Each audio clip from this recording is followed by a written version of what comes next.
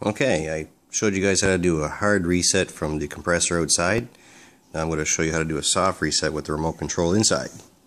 All you need is a ballpoint pen and a remote control. Here is where your settings should be set at for maximum uh, well efficiency. You can set your fan speed usually on 2 bars or 3.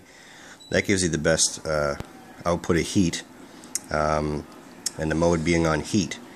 Now let's say the programming timer energy sensor is on. Um, that's by pressing the energy sensor. The energy savings icon comes on. Uh, and this only puts it in energy savings after 20, 20 minutes or so. And if there's no, no movement in the house after 20 minutes, it'll go into like a three quarter power mode. So you press it again to toggle it off while aiming it at the unit. And if you notice here too, right next to the energy savings, uh, there's an economy button. That overrides the energy savings sensor, which is located here on the left. And if you have it on economy mode, little econo light will come on. If you press it again, the icon comes off.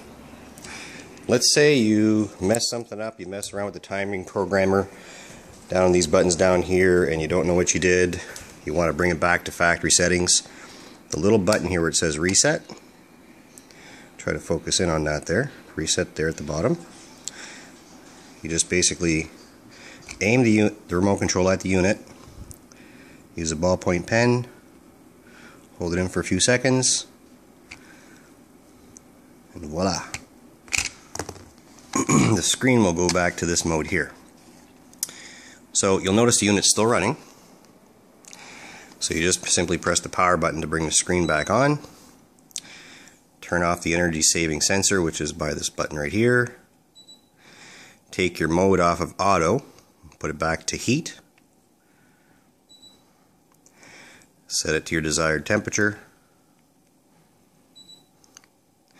and your fan speed on auto if preferred or usually I prefer it at 2 so it's not as noisy and it's not as annoying and if you want a little boost to heat, you just simply press the powerful button. That'll give you a boost to heat for about 20 minutes. Also, for programming the clock, down at the bottom there's a clock adjust here. Simply press it and hold it for a few seconds. Notice the screen comes on there. You can select your up and down arrow at the bottom to change the day. Then go next to go to your time. And right now it is 3.50 p.m. So I can go back or forward by pressing the select button up and down arrow and it'll go in intervals of 10, set 10 minutes at a time. And you can bring it down to the proper time to achieve it.